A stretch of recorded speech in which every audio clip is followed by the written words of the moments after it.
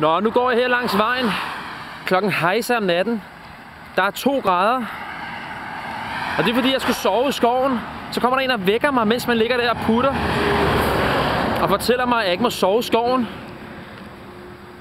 Og så siger jeg, at det er jeg ikke klar over. Hvad med, at jeg bare gør det til i morgen tidlig, og så går jeg, mens det stadig er mørkt. Nej. Hold kæft, mand. Men jeg er jo en ordentlig person, og siger til ham, jamen se her, jeg kommer fra Aquavit. Nu skal du høre en sjov historie, hvad jeg eh, laver.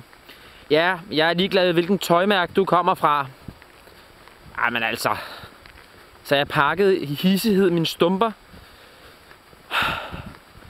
Og nu går jeg bare den næste stræk. Om natten. Øh.